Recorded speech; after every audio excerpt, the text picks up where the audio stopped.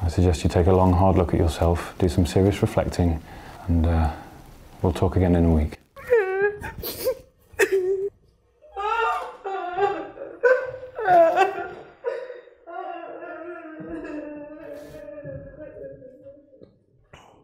Yeah, Gary. Islah, how are you, mate? Come on in. Have a seat. Bismillah. So, is this about the kangaroo brand deadline? No. Um, I should get onto that. Um, no, this is uh, about. Um, I was wondering if possibly, perhaps, maybe, if it's possible to book a day off for Eid. Ah, that's the little Muslim Christmas, isn't it? yeah, minus the uh, old fat man climbing down your chimney, borderline breaking and entering. Now, what day was it you were looking to take? Um, uh, the the 18th, but uh, could also be the day before or the day after. Sorry, what? It depends on the moon.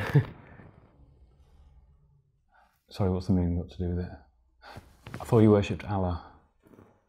it's um Allah, but um, that uh, was based on the lunar calendar. Right. So I'm not sure if I follow.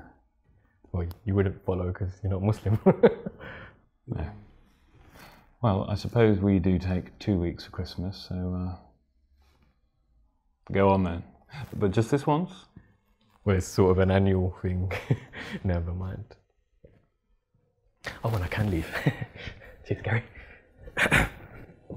oh, and uh, Gary, I might need the 20th off as well. My in-laws, they're Pakistani. They do on a different day.